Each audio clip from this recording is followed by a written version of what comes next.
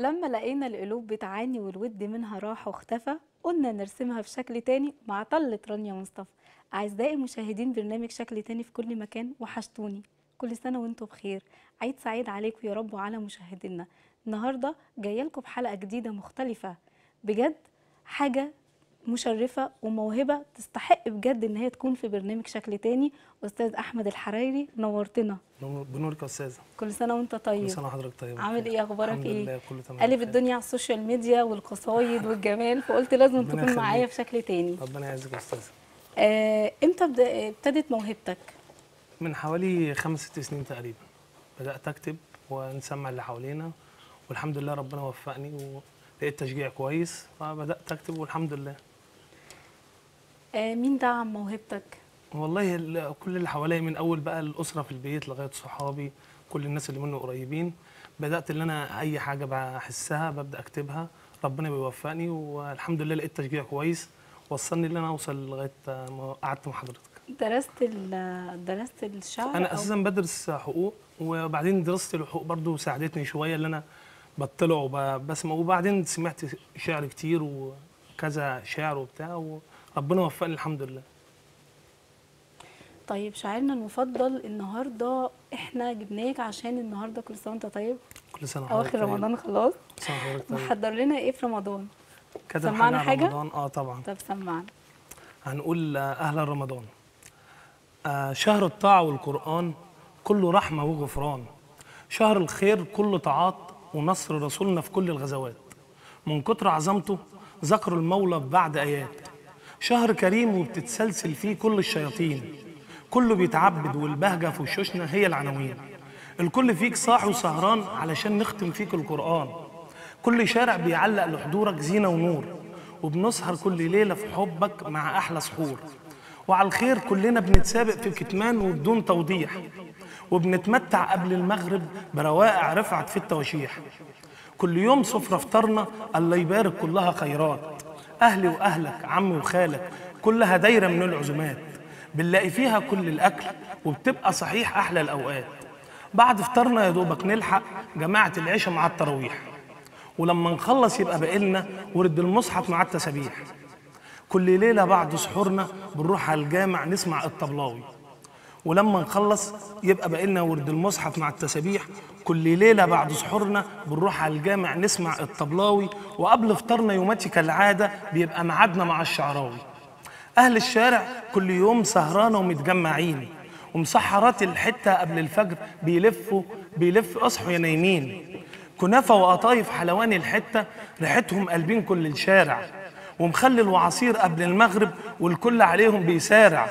شهر عظيم فيه بنصوم وبنتعلم كيف الصبر وبنتعبد وبنتقرب علشان نتحصل على ليلة القدر ليلة عظيمة تساوي عبادة ألف شهر يلا نصلي ونزكي وندعي كلنا في سكوت رمضان أيامه جميلة على طول بتعدي وبتفوت الله ما شاء الله ربنا. يخليك. حاجة ربنا جميلة جدا.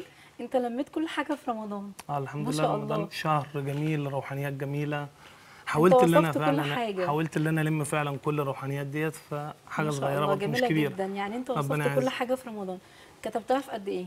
لا حسب. ممكن آه، قصيدة تاخد خمس دقائق كتابة ممكن قصيدة تقعد يوم اتنين حسب. ما شاء الله. يعني أنت ممكن تعمل مثلا كوبليه وبعد كده ترجع تكمل؟ عادي آه يوم اتنين حسب حسب بقى اللي بيجي لي ساعتها والوحي أيوة اللي ال- بينزل ما أنا. كنت لسه هسألك يا أحمد بجد السؤال ده هو ده وحي ولا مثلا شفت موقف اتأثرت بيه فكتبت؟ موقف اتأثرت بيه ببدأ أكتب آه، حد قريب مني بيحكي لي حاجة ببدأ أتأثر بيها هكتب عنها.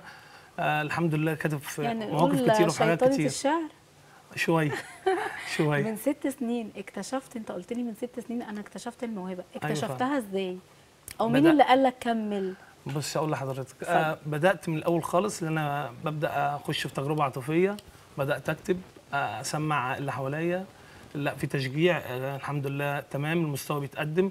الحمد لله لغاية آه بدأت بقى لا أبعد بعيد عن العواطف شوية. ممكن نكتب عن مصر ممكن نكتب عن رمضان.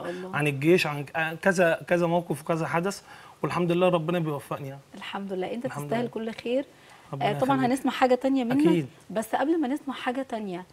آه نفسك في إيه تحققه بالنسبة للشعر إن شاء الله يعني ال- الفترة اللي جاية بفكر إن أنا أكتب بقى أغاني وأخش في مجال الأغاني آه زائد إن أنا عاوز أعمل كتاب ألم فيه الشعر برضو بتاعي كله زي ديوان ألم كل شعري في الكتاب ده وبإذن الله اللي جاي يبقى أفضل و- ديوان صح بإذن الله إن شاء الله أنت الله. عندك طموح وإن شاء الله ربنا يقف معاك وإحنا الله. جنبك من خلال برنامج شكل تاني بن... بنساندك وبنساعدك ويلا سمعني حاجة تانية. أسمعها.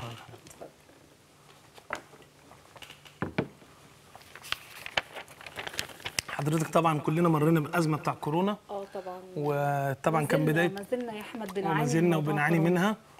فطبعا لما بدات اكتب عندي كان ال- السنة اللي فاتت كان بداية كورونا. فكتبت شرحت الحالة اللي بنمر بيها. تمام.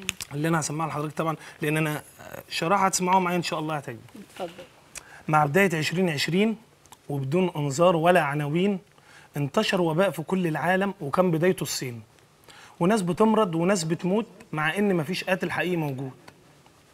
وبعد الفحص قالوا ده فيروس سبب الخفافيش حالات إصابات بتزيد ونتائج الشفاء مفيش. وكل الطب بيحاول لكن قليل اللي بيعيش. مع كل ساعة خبر بيتسرب خلاص الخطر منا بيقرب وحسب الوصف كورونا أخطر الأمراض. وكل دقيقة بتظهر علينا الأعراض وفجأة بتاخد بلدنا بعض القرارات. بدايتها وقف وتعطيل كل المطارات. وحظر تجول من نص اليوم بيتنفذ. عايشين بالكمامة بقى صعب علينا نتنفس. ودخل رمضان واتقفل المسجد مع الكنيسة. واتحرمنا من العبادة فيهم لرب محمد وعيسى. مفيش صلاة جمعة ولا تراويح. مفيش اعتكاف ولا تهجد ولا تسبيح. مفيش كورة ولا أفراح واتحرمنا من صلاة العيد. بقى السلام الرسمي المشاورة من بعيد لبعيد. وإن كحيت مجرد كحة بقى موضوع. والكل عايش في قلق وهو موجوع. بنشرب ألف نوع سوائل مع براشيم وإحنا مش فاهمين. مفيش نتيجة لعلاج ولا فيتامين. وبقينا ماشيين بألف مطهر في شكل كحول. مفيش حاجة باينة مننا غير عينينا من الكمامة بالطل. أقرب ما لينا بقى يتصاب وبقى ممنوع نكون جنبه. ومن السهل بينقل العدوى وهو حقيقي مش ذنبه. وحشنا ناس نفسنا حقيقي نقابل أحضانهم. وأخيرا تعالوا يا خلق الله نرجع لرب الدواء. ندعي ونبكي جميعا. يشفي مرضانا ويزيل عنا الوباء. الله جميلة جدا جميلة بجد. أنا اتأثرت. بجد وأنا بسمعها. ربنا قد إيه. أنت عندك يعني إحساس وأنت بتتكلم؟ قد إيه ربنا وصف دقيق بجد؟ يعني يخليك. فيا آه بمناسبة بقى الإحساس والتأثر الشعر اللي أنت كتبته أنت اتأثرت بيه أكيد لا ما هو بصي مش ه... مش هعرف. مش آه. هعرف أكتب حاجة غير لما أكون أنا متأثر بيها سواء حالة أنا بمر بيها وعشتها فعلا وبدأت أكتب عنها سواء حد قريب مني جدا بيحكي لي عن حاجة معينة وأنا بدأت اكتب عنها أو طلب مني حاجة. حتى الفترة الأخيرة اللي هو بدأت إن أنا أكتب أغاني الحمد لله وربنا وفقني. ما شاء الله.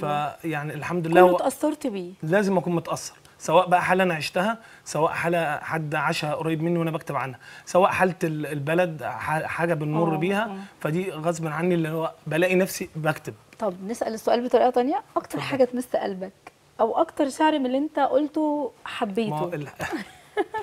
يعني حاجة مصرة- مفضلة بالنسبة مصرة لك. تد- مصرة لازم بصي حضرتك آه، طبعا أقرب آه، في بيبقى حاجة أو آه، يعني تقريبا أقرب حاجة ليا أول حاجة أنا كتبتها. طيب. لحالة عاطفيه أنا عشتها. حلو جدا. تمام. هو ده اللي أنا عايزاه آه ما هو الوقت بقى مش هيسالنا إن إحنا ناخد حاجة طويلة. أنا ممكن أقول لحضرتك حاجة تانية؟ تمام. حاجة تانية دي إيه؟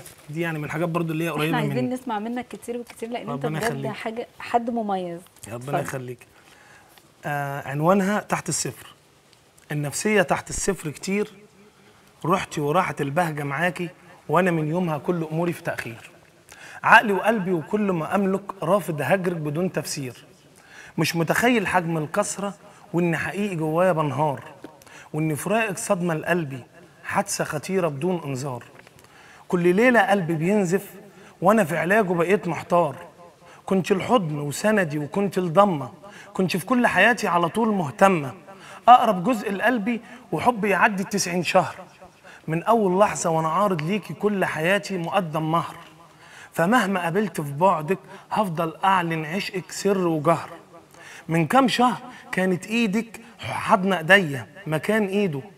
كنت حلم جميل عايش بتمنى حقيقي أريده. كنت في حزني أجمل ضحكة وأجمل فرحة.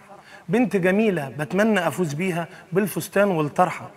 لما تيجي تحكي لهم عني ابقوا قولي لهم إني عشقتك وإني حاربت عشانك كل الدنيا وجيتلك وإن من يوم ما عرفتك بعلن حبي من أقرب باب وإنك مهما قسيتي وبعتي كنت بجيلك أصالحك رافض منك أي عتاب إيه الجمال ده؟ ده جرح ده ولا إيه؟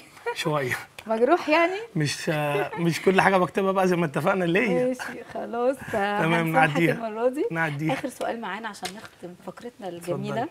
تحب تشكر مين أول حد أمي ربنا يخليها لك. دعواتها هي اللي جابتني لغايه. هنا وإن شاء الله هي اللي توصلني لنفسي فيه طبعا كل الناس اللي حواليا وأصدقائي ووالدي وكل الناس كل الناس انت جميل. ربنا يعزك. ونورت برنامج شكل وأنا تاني. اللي أنا اتشرفت بوجود حضرتك معايا أنا و... أكتر والله. ربنا يحقق أمانيك وطبعا وإن شاء الله ما تبقاش آخر مرة. لا إن شاء الله تنورني في برنامج شكل الله. تاني كتير وكتير بإذن الله. وفي نهاية الفقرة الأولى يا رب تكون آه، افدناكم واستمتعتوا معانا واستنونا في الفقرة الثانية